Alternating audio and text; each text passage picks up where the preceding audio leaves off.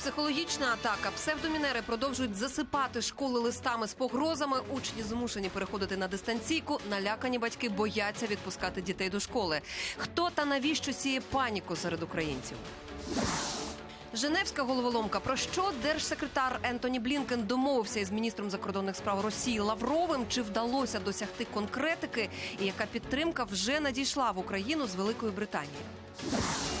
Валютне піке, як напруженість у політиці впливає на курс долара? Чи вдасться втримати гривню? І що втримає в Україні інвесторів? На чорний день чи справді схвильовані новинами українці скуповують харчі? Рівень колективної тривоги у супермаркетах перевірили наші кореспонденти. Дитяча хвиля. Ковідні відділення дедалі більше заповнюються неповнолітніми. Лікарні потребують додаткових місць. Що це новий штам чи відсутність вакцинації?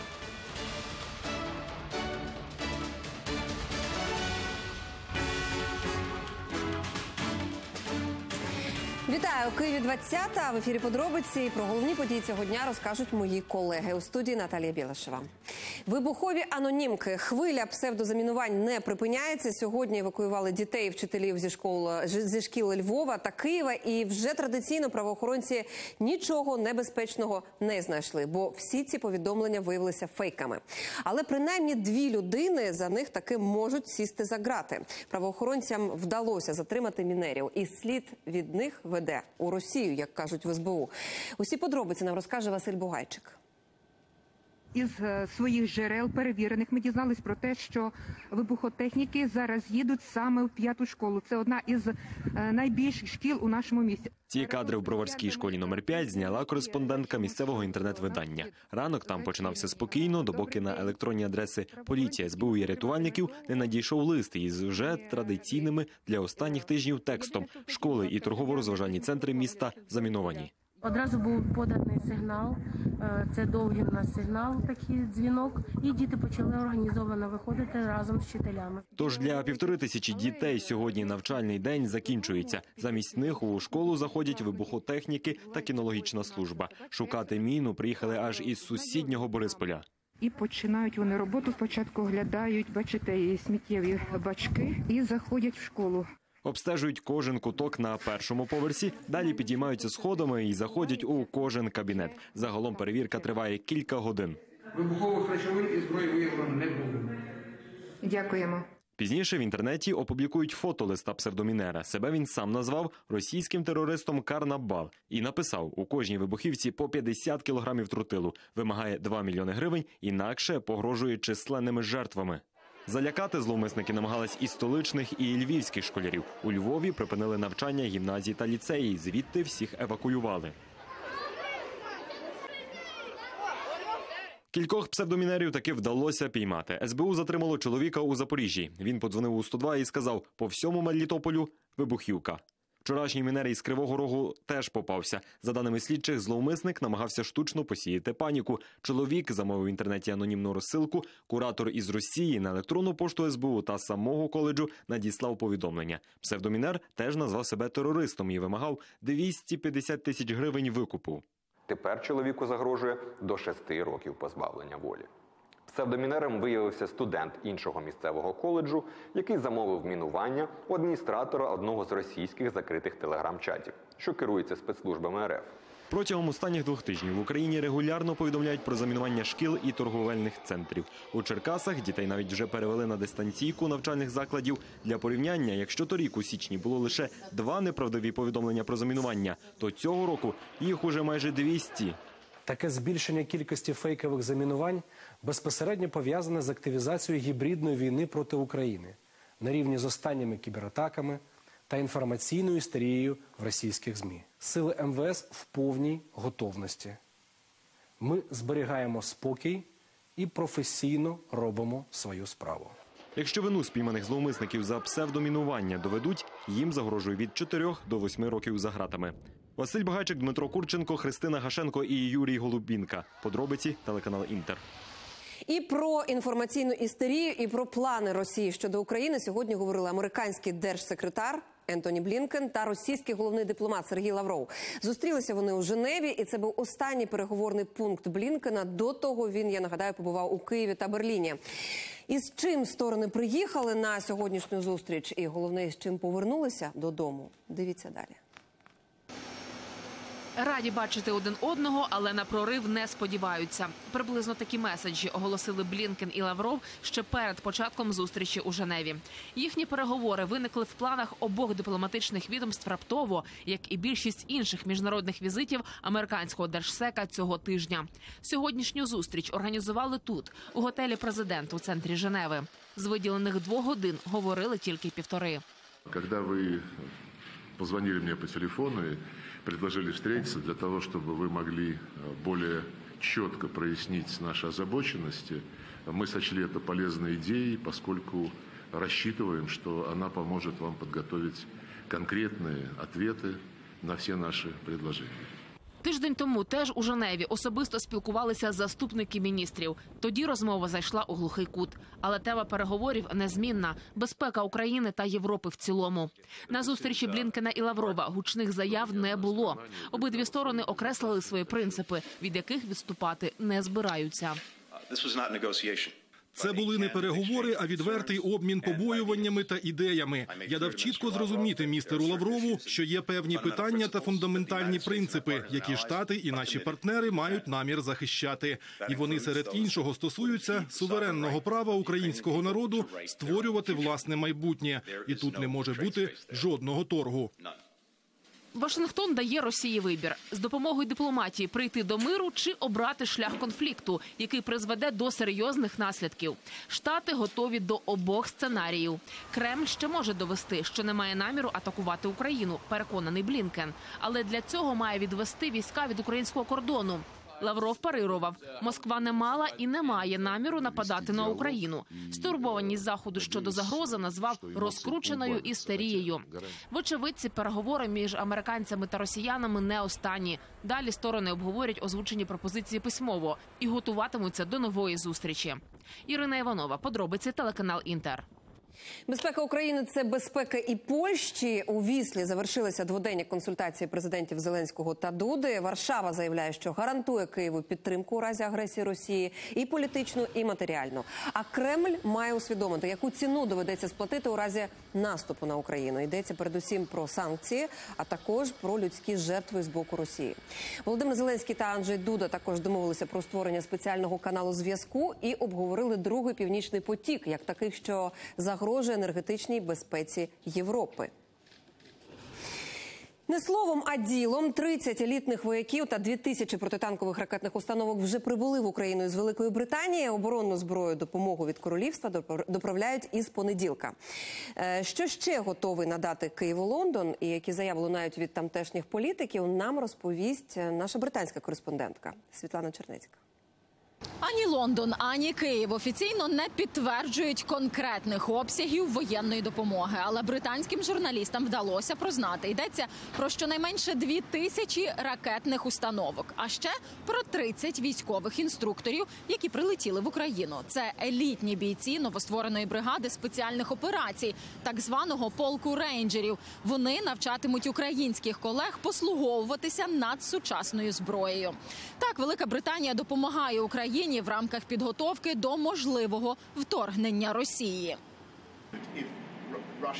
Якщо Росія наважиться вдертися в Україну і стосується це агресії будь-якого масштабу, думаю, це стане катастрофою не тільки для України чи для тієї ж Росії, це стане крахом для всього світу. Велика Британія повністю підтримує суверенітет і цілісність України. Наразі британська армія ділиться винятково оборонною зброєю. Це легкі протитанкові ракети наступного покоління. Їхня перевага в тому, що один солдат єдиним пострілом може дати відсіч великій броньованій машині, і це серйозний аргумент у ближньому бою. Тим часом Велика Британія готується дати відсіч Росії на дипломатичному фронті. Ми дуже чітко усвідомлюємо разом із нашими партнерами в G7, із нашими союзниками по НАТО, що вторгнення Росії в Україну Москві обійдеться дуже дорого.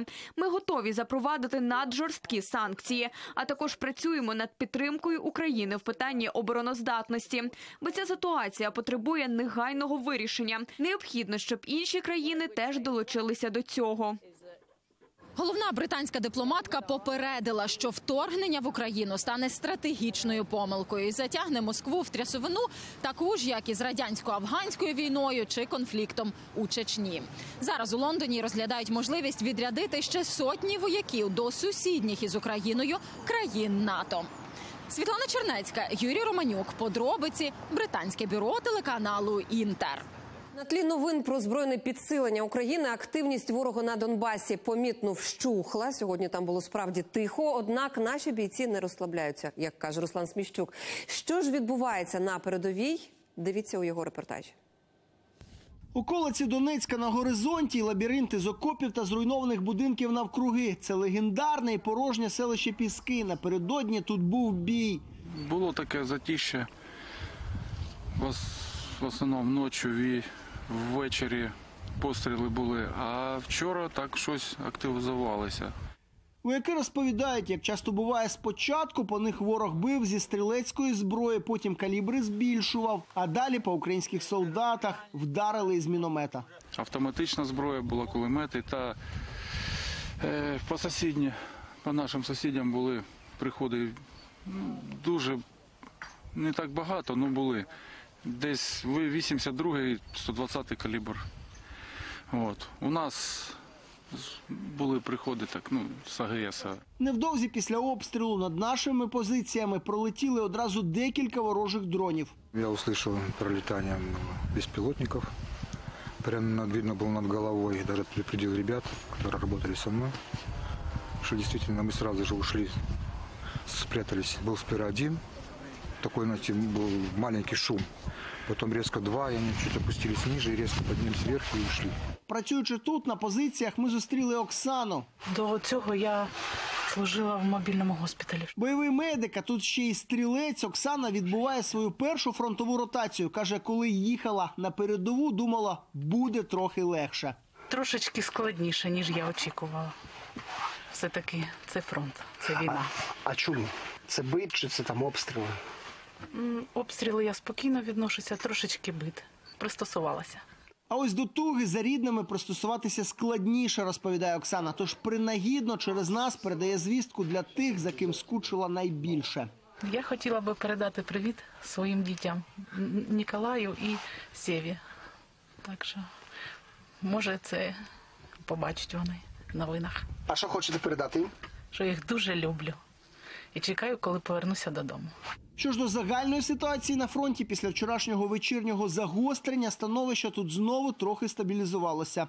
Із Донеччини Руслан Смещук, Вадим Ревун та Олег Зубов. Подробиці телеканал Інтер. Порожні полиці магазинів як побічка від перегляду новин. У низці змі з'явилася інформація, що буцімто через постійні повідомлення про ймовірне вторгнення в Україну люди поспіхом збирають тривожні валізки і необхідний проднабір. Мовляв, змітають і сірники, і крупи, і сіль, і цукор. Чи так це насправді ми вирішили перевірити одразу у кількох регіонах? Тож далі заміри рівня людського спокою на сході та півдні країни. Місто Харків сьогодні воно стало просто осередком панічних новин після того, як у змі оприлюднили інтерв'ю Володимира Зеленського з Washington Post. Мовляв, якщо Росія і почне великомасштабну війну, то з наступу на Харків. Реагувати довелося меру. Ігор Терехов у Фейсбуці написав: Харків є і буде українським мирним містом, і причин для паніки нема. Та чи є переполох? Їду в магазин спального району і одразу до стратегічних продуктів, до полиць із крупами. Гречки у супермаркеті нарахували 8 сортів на будь-який смак. Ось, по 45, по 52. Он, ще дорожче. У пачках. Усе є і в достатку. Полиці з цукром теж повні. Сіль є. Цукор також будь-який. Хоч пресований, а хоч і розсипчатий. Ось цукор по 25-39, скільки завгодно. Та й біля сірників жодного ажіотажу. А ось і сірники, будь ласка, цілі стоси. Купуй не хочу. На касі харків'яни зі звичайними буденними наборами продуктів. Кажуть, запасатися на випадок війни не збираються.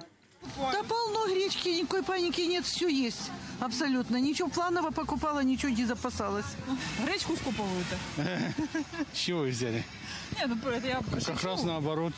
Пиво, рыбу, Все люди водку. Глупости, нич- никого не слушайте. Все нормально, и все спокойные. Не знаю, я не заметила такого. Э, Ажиотажа в отделе круп проходило там два человека всего лишь. А це вже південь. Миколаїв. Ціни тут, як і всюди. Всі товари теж на місці. Навіть туалетний папір та сірники. Все є, полно. Полиці від продуктів повні, торгові зали від людей порожні. Жодного ажіотажу. Продавці кажуть, все є в асортименті. Товари постачають і розкуповують як завжди, не більше. Загалом ми пройшлися по трьох супермаркетах і трьох невеличких крамничках, і жодної паніки тут у Миколаєві нема. Не можна сказати, що там немає товарів першої необхідності. Е, Ці товари там звичайно є, і масової такої скупки немає. Люди купують за необхідністю, хоча ситуація в Україні звичайно тривожна. Зачем його закупляти? Зачем його? Щоб йому там щось заводилося, а потім на мусорку виносить все. Лучше, лучше хай купить необхідне. Тож абсолютно всім українцям варто зберігати спокій та не вірити всім інформаційним викидам. Артем Мантоненко, подробиці, телеканал Інтер. Хочеш грітися, витрушуй кишені. У Запоріжжі мешканці малоповерхових будинків отримали космічні платіжки за тепло. За грудень людям нарахували по 5-8 тисяч гривень. Сплатити такі суми мешканці не в змозі і вже почали накопичувати борги. Що кажуть тепловики і який вихід пропонують, чула Інна Гогой. Так, батареї теплі. А платіжки ще гарячіші. Мешканцям цього двоповерхового будинку у Запоріжжі тепловики підготували новорічний сюрприз. За грудень нарахували в платіжках космічні суми. Сергію за теплі батареї в своїй трикімнатній доведеться сплатити понад 8 тисяч гривень. Де взяти такі гроші, чоловік просто не знає Я работающий человек, не могу заплатить такие суммы за отопление. А вот эти бедные бабушки, пенсионерки, у которых 2000 пенсия и 2000 субсидия, им приходят такие платежи за квартиру.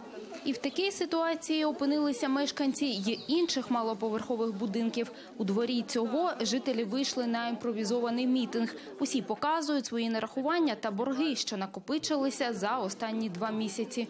У нас субсидія. Субсидія 1856 гривень прийшла. Э, Наш совместный с мужем пенсии наши 4600. Вот 4600, а заплатить надо 4971 гривну. Это за один месяц. А у нас уже долг образовался. Значит, у нас снимут субсидию. Без е, счетчика у нас виходить 86 квадр... е, гривень за один квадратний метр. У мене в домі 86. У людей он стоять, там взагалі 101-102 гривни, один квадратний метр. І ось у мене квартира 66 е, квадратів, ось виходить 5715 в тому місяці і, і е, в цьому місяці теж така сума. Тобто е, 10-11 тисяч за два місяці.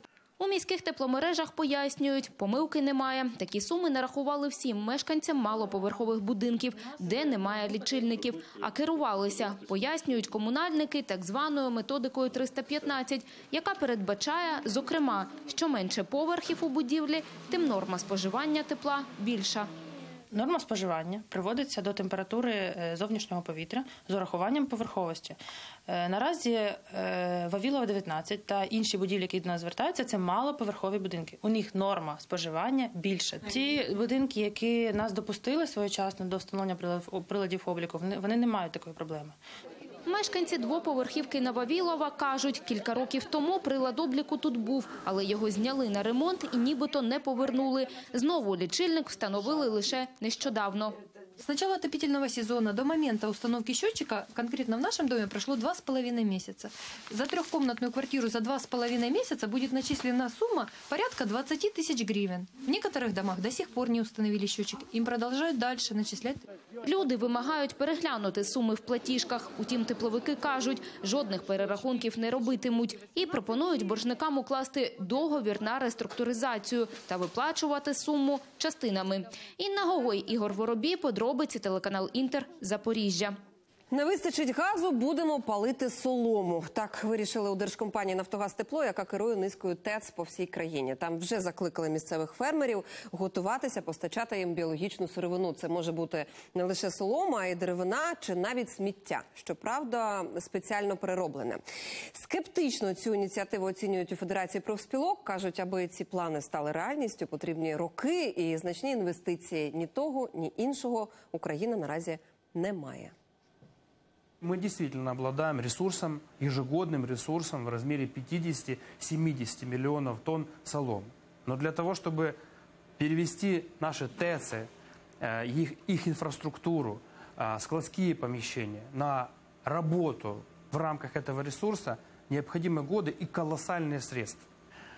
То, что мы сегодня можем реально мобилизировать, то, о чем сегодня говорит нефтегаз, этого достаточно, чтобы отопить примерно Печерск. Кабинет министров Украины, Верховный Совет Украины, может быть, еще какие-то администрации. Но точно не все население Украины. Гривня подешевшала, долар пішов вгору і вже перетнув позначку 28 гривень. Чому іноземні інвестори почали тікати з українського валютного ринку? Як на це вплинули політичні настрої, а саме загроза російського вторгнення? І чого нам чекати далі? Все з'ясувала Олена Логінова.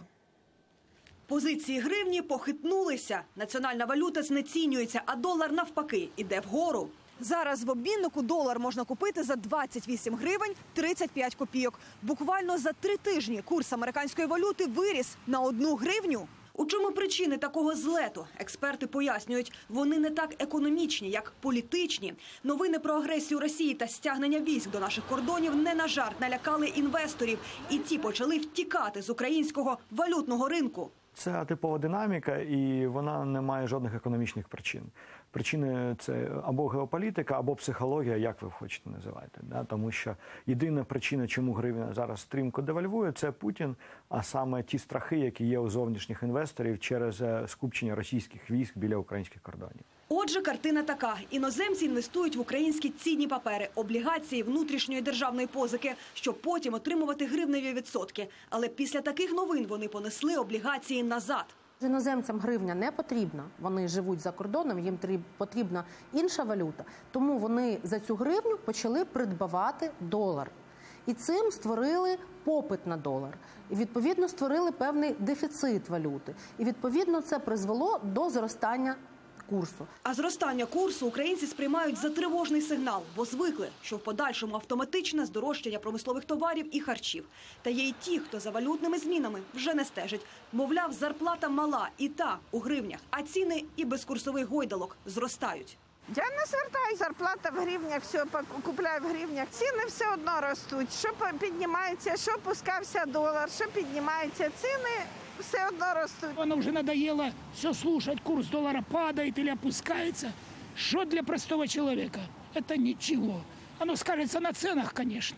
Неоптимістичні прогнози висловлюють і експерти. У тому, що все подорожчає, вони не сумніваються і пояснюють, ми залежні від рівня світової інфляції. Вона зростає, а слідом за нею підвищуються і ціни на нашому ринку. Цього року ми побачимо значне зростання цін.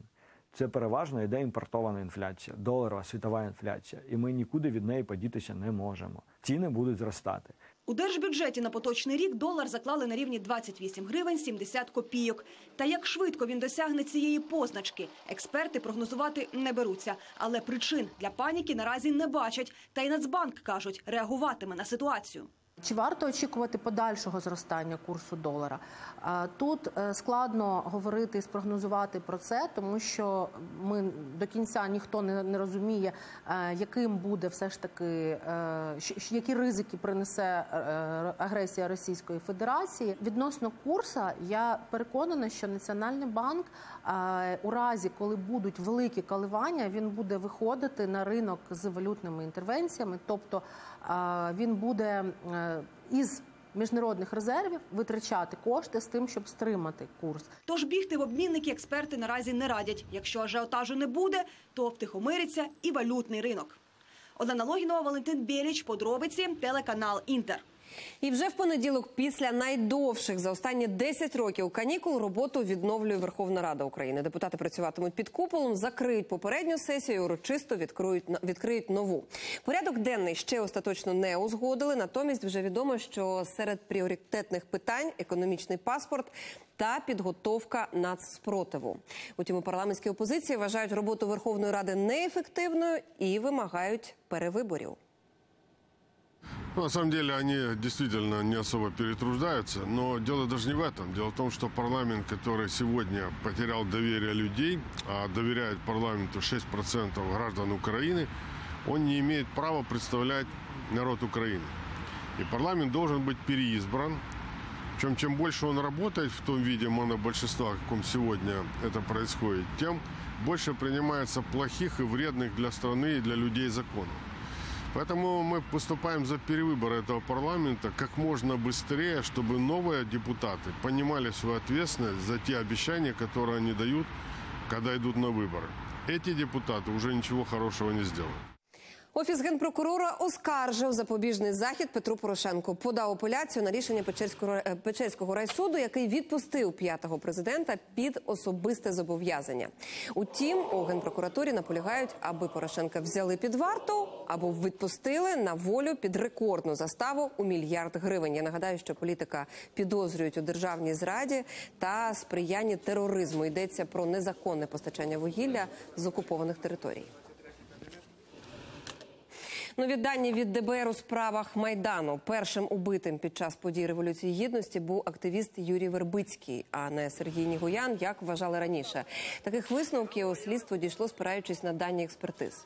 Слідчі заявляють про повне розкриття вбивств Юрія Вербицького, жур- журналіста Василя Сергієнка та 48 людей на інститутській. Проте найбільш проблемними називають вбивства Сергія Нігояна, Романа Сенека і Михайла Жизневського. Проблемним питанням є розкриття перших. Перших трьох вбивств тут є спірним питання з урахуванням судово-медичних експертиз. На даний момент е, е, хто є першим вбитим, це Юрій Вербицький, це чи Сергій Нігоян за часом. Але за останніми даними це Юрій Вербицький. Е, Тобто Нігоян, Жизнівський, Сенник це три вбивства, які на даний час не розкрито, але слідчим державного бюро розслідувань активізовано роботу на цьому напрямку. Вже із понеділка на мапі України з'явиться перший червоний регіон. На регіон найсуровіші карантинні обмеження діятимуть в Івано-Франківській області. Від сьогодні побільшало також помаранчевих зон. До семи регіонів додалася Чернігівська область. Зросли і показники захворюваності на ковід. Маємо понад 20 тисяч нових інфікованих. Одужало при цьому вчетверо менше людей. Кількість дітей, хворих на ковід, різко збільш- збільшилася у Львові. Наймолодшому пацієнту лише три тижні. У місті додатково відкрили ще один дитячий медичний заклад. Чому вірус вражає саме малолітніх? Питала Христина Гашенко. У львівській лікарні Охмадит нині лікують 75 маленьких пацієнтів із ковідом. Відділення завантажене майже на 80%. І це рекорд, кажуть лікарі. Такої кількості не було. Не було. Максимально було 50 в жовтні. У нас іде швидше поступлення, швидший оборот пацієнтів. Раніше пацієнти могли довше лежати, затримуватися довше. А тепер так виходить, якщо вони стабілізовані, три дні стан стабілізувався і дитина додому. В усіх ушпиталених дітей висока довготривала температура, нежить. І дітей зі схожими симптомами щодня більше, як констатують медики. Тож, аби уникнути хаосу, місті відкрили ще одне ковідне відділення у міській дитячій лікарні. Це додаткова сотня місць, і 15 з них уже зайняті лише за минулу добу. Усі дітки середньої важкості, кисневої підтримки наразі ніхто не потребує. В основному це є діти від 7 місяців до 14 років. Серед хворих і дев'ятимісячний Владислав. Напередодні вночі в нього піднялася температура 39,4.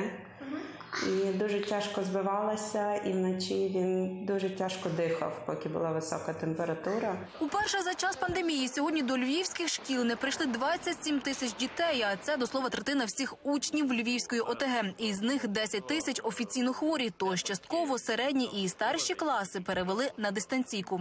Є багато дітей, що мають симптоми. е, Ну це є нежить, це є температура, це є головна біль. Але на жаль, поки що немає ще результатів. Тобто очікуємо. Робота може виявитися марною, якщо кількість дітей буде недостатньо на уроці. Тому ми, е, в нас була ініціатива створити е, таку гуглівську таблицю, де вся інформація оперативно вчителями заноситься в неї після проведення уроків. Діти не одягають масок, їх не вакцинують, і це головні причини спалаху ковіду серед неповнолітніх, пояснюють медики. Вакцинація своє зробила. Вона частину людей все-таки захистила. І багато людей навіть можуть мати інфекцію, але вони себе почувають відносно задовільно і фактично не вимагають госпіталізації. А діти не вакциновані. Тож із понеділка у Львові 5-11 класи на два тижні переходять на дистанційне навчання. Дитячі садки працюватимуть без змін за розкладом. Христина Шенко, Юрій Голубінка. Подробиці телеканал Інтер. Львів. Невтішні прогнози щодо розвитку вітчизняної економіки роблять експерти. Якщо коротко, навіть за умови збільшення доходів населення, цей позитив перекреслить інфляція. Наскільки подорожчають товари та яка ситуація на сьогодні, дізнавалися наші кореспонденти на прикладі Одеси. Одеситка Лариса Астрахович працює санітаркою в державній лікарні. Отримавши 5 тисяч гривень зарплати, половину одразу віддала за комірне. І з тим, що залишилося, пішла на ринок і оторопіла від цін. Капуста подорожала э, с 5 гривен до 20, морковка э, 12 тоже до 20, буряк. Сейчас сделать борщ, он у нас золотой, хотя без мяса. Торік жінці підвищили зарплату на цілих 200 гривень, але цього року на нове покращення пані Лариса навіть не сподівається. То, что они добавят, пусть они возьмут себе на здоровье. Вот эти копейки, что они нам добавляют. Цены не соответствуют нашему прожиточному минимуму. Лише за офіційними даними на Одещині в півтора раза подорожчала олія, на 17% хліб, на третину цукор. Уже не кажучи про м'ясо, овочі і крупи. Продавчиня Любова Хметова каже, потроху ціни зростатимуть щотижня. Люди обнищали. Если вечером люди ходят по рынку, вот яблоки выбрасывают, там они стоят и обрезают. Это что, жизнь для пенсионеров? Головна причина інфляції, кажуть експерти, ціни на газ, бо виробники автоматично закладають їх у собівартість продуктів. Ба більше у травні Україна взагалі припинить будь-які тарифні ліміти. На сегодняшний день Германия по прямому контракту с «Газпромом» газ получает по 300 долларов за тысячу кубов. Италия – 350. Знаете, сколько платим мы на сегодняшний день?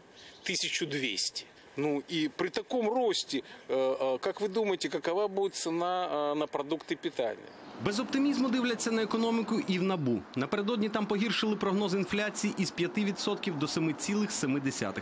Тож, якщо деякі роботодавці й підвищать зарплату працівникам, це зростання ймовірно буде невільоване. Но я вам хочу сказать, как э, человек, имеющий прямое отношение к бизнесу, очень немногие сферы бизнеса нашей страны смогут себе позволить такую роскошь, как повышение зарплаты. Потому что э, бизнес и так страдает от повышенных расходов на коммунальные услуги, и еще повышают зарплаты. Э, Нужно же где-то э, покрывать эти расходы, да? А покрывать их э, в условиях тотального обнищания населения их неоткуда. Потому что государство не стимулирует развитие малого и среднего бизнеса. Хотим мы или не хотим, но к свободно конвертируемой валюте гривна в этом году упадет, потому что два года она уже подряд сдерживается, искусственно сдерживается, искусственно сдерживается в- прежде всего вливаниями э, Международного валютного фонда. Поэтому только будет задержка кредита или транш будет не такой, как который мы э, для себя его обозначаем или который мы ждали, гривна сразу, к сожалению, полетит вверх. А зарплата у нас в гривнах, и это будет та часть инфляции, о которой не говорит сегодня Национальный банк. Окрім того, у своїх прогнозах експерти вказують ще на один важливий нюанс: на ситуацію погано впливають постійні чутки про можливе вторгнення Росії, і це відлякує інвесторів. Костянтин Редін, Вячеслав Нікіфоров, подробиці, телеканал Інтер, Одеса. На честь кіборгів в Україні далі вшановують захисників Донецького аеропорту і тих, кому вдалося вижити у тому пеклі, і тих, хто назавжди поліг під його руїнами. Сьогодні на українських литовищах грають військові оркестри. Все бачили мої колеги. Хтось поспішає на рейс, хтось зустрічає близьких. І зненацька буденна метушня в аеропорту Бориспіль стає на паузу. До зали терміналу заходять музиканти військового оркестру. І це не концерт, а вшанування донецьких кіборгів, які героїчно сім років тому цілих вісім місяців боронили Донецький аеропорт. Стояли аж доки ворог не перетворив литовище на руїни. Люди стояли, люди тримались, не витримував метал. Це вже таке, знаєте, гасла. Але це було насправді. І хай буде від цього трішки легше матерям, сестрам, дітям цих людей, кого не стало. Що вони бачили, да, їх згадують, і нам трішки легше. І це стало національною традицією. Тепер щороку військові музиканти збираються на вшанування героїв на литовищах країни. У Львівському міжнародному аеропорту грає військовий оркестр Національної академії сухопутних військ. Донецький аеропорт це був символ мужності захисту нашої держави. А твори, які являються так само в е, українській культурній спадщині, так само символічними, вони мають велике значення для е, нашої держави. Звичайно, що ми маємо пам'ятати про це все. Ні одна мати втратила свого сина, ні одна там дитина свого батька. Це дуже важко, це дуже важко для всіх переживати. Коли грав оркестр, то ну було так досить сумно на душі, насправді, бо зараз згадуються ці події. і Уявляється те, що в тих людей було життя, була сім'я, були свої мрії, але вони в якийсь момент цим пожертвували. Концерт реквієм і в аеропорту Дніпра. Тут виконує композиції військовий оркестр штабу оперативного командування Схід. Ми вибрали ще Селензою, відомий всесвітній твір, тому що він такий, знаєте, життєстверджуючий. Не дивлячись на те, що восьмий рік трима- триває війна, ми розуміємо, що жити треба, треба боротися і не здаватися. Это прекрасная музыка, а во-вторых, это всех немножко, как это, заставило вспомнить ситуацию, да, заставило вспомнить людей, которые погибли, и, может быть, больше ценить свою жизнь. І доки всередині терміналу звучить музика, ззовні долинає гуркіт двигунів. На парковку з'їжджаються учасники флешмобу. Около 20-25 машин будет создавать эту башню в память ребят, которые погибли. Мы хотим почтить их память.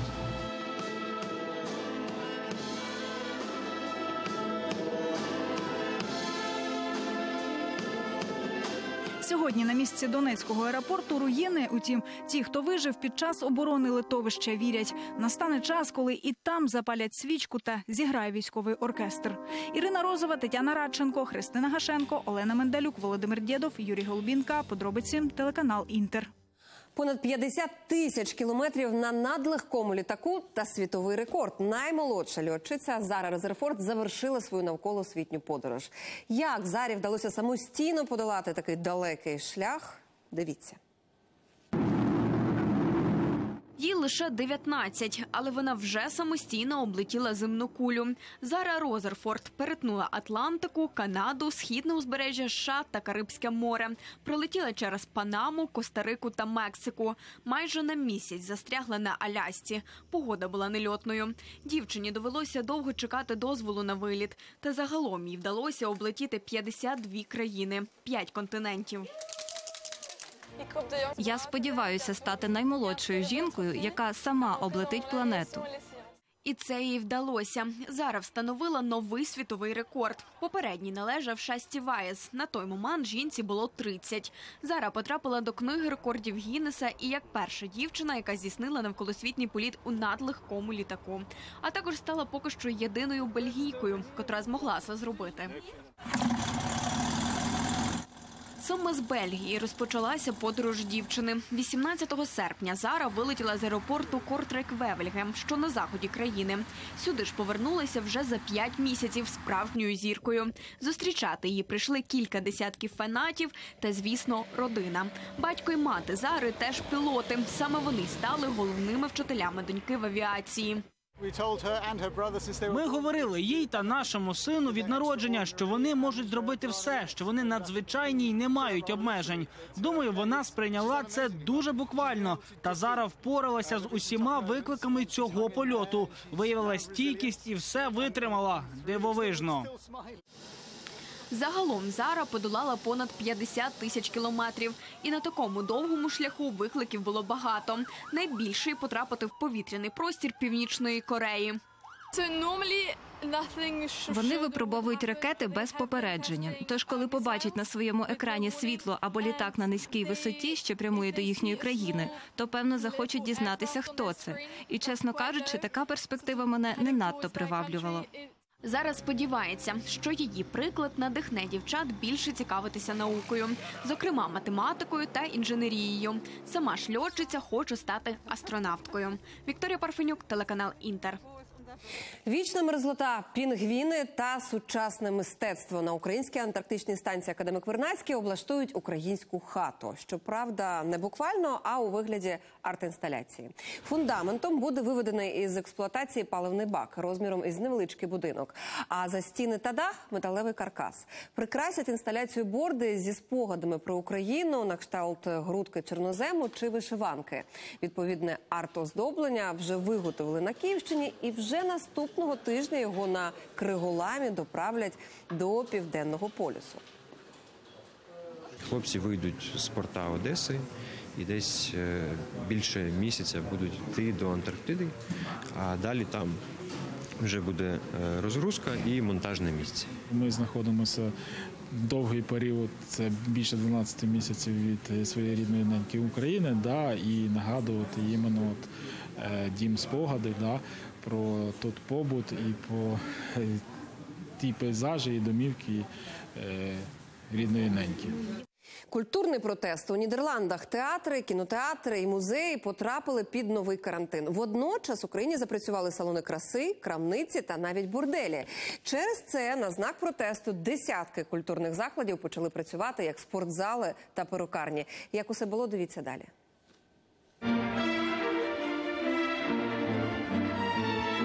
Культурний демарш. Театри в Нідерландах повстали проти рішення уряду подовжити загальнонаціональний карантин. І свої протестні настрої митці висловили креативно. Десятки музеїв і театрів замаскувалися під салони краси й спортивні зали, бо бізнесу обмеження послабили, а театралам ні. Музей Ван Гога у столиці Нідерландів Амстердамі теж тимчасово змінив свій профіль. Ми зробили це не заради скандалу. Просто на нашу думку, сектор культури теж має бути відкритим. Ось, наприклад, музеї. Чим вони небезпечні для відвідувачів? Ми так само встановлюємо правила з дотримання соціальної дистанції і багато чого іншого. Це несправедливо, коли салони краси працюють, а ми постійно зачинені. Культурний протест підтримали й пересічні голландці. Люди прийшли в музеї, театри й опери і під супровід оркестру зробили там зачіски. Я просто від цього втомився. Вважаю, що умови мають бути рівними для всіх. Нехай працюють бари, ресторани, салони і спортзали. Однак у той же час треба відчинити і заклади культури, бо вони важливі і відвідувати їх можна так само безпечно. Директори музеїв обіцяють, в умовах пандемії працюватимуть відповідально, бо розуміють важливість збереження позитивної епідситуації. Таке враження, що запрацювали вже просто всі, та не ми. Наголошую, заклади культури є безпечними для відвідувачів, бо ми все для цього робимо, і ми повинні бути відчинені. Локдаун у Нідерландах запровадили в грудні, проте вже всередині січня частину обмежень скасували. Зокрема, відновили роботу магазинів із товарами першої необхідності: тренажерних залів, перукарень, манікюрних салонів і навіть борделів. Натомість кінотеатри, музеї, театри і концертні майданчики залишили закритими. Владислав Політ, подробиці, телеканал Інтер. Травматичне включення. Американську журналістку у прямому ефірі збило авто. Дівчина наживо розповідала ведучому про аварію на водогоні, коли її просто із кадру винесла машина. На щастя, кореспондентка не травмувалася. Шокованому ведучому відняло мову, і доки він оговтувався, журналістка повернулася у кадр. І перше, що сказала, це те, що за мить усе її життя пролетіло перед очима. It is all good. You know, I. Такі у нас сьогодні новини. Затишного вам вечора та гарних вихідних. Побачимось.